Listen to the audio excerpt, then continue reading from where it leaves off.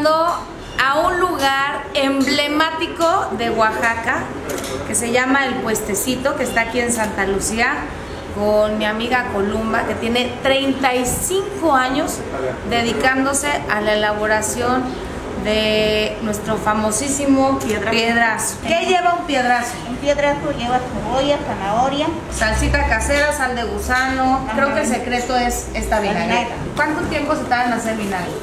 se tarda un mes. Un mes.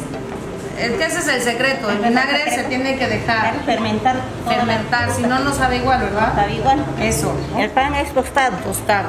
Ese se, después se hornea una o dos, tres veces para que quede tostado, tostado. Para eso se llama piedrazo. Ok. Porque está duro, dijeron. Vean, se me está haciendo la boca agua de lo que huele este vinagre tan delicioso. Es un piedrazo 100% oaxaqueño. Delicioso. Delicioso. Qué rico está. Ahora le voy a preparar uno a mi novio el gobernador.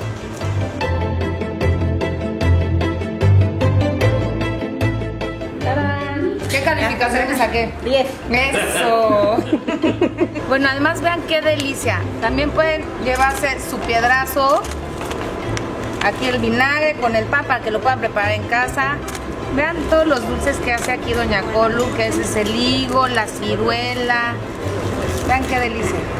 Ya saben dónde, aquí en el puestecito en Santa Lucía, dirección. 12 de octubre, 307, Colonia Nacional. Y le agradecemos mucho todo esto que nos vamos a llevar, ¿verdad?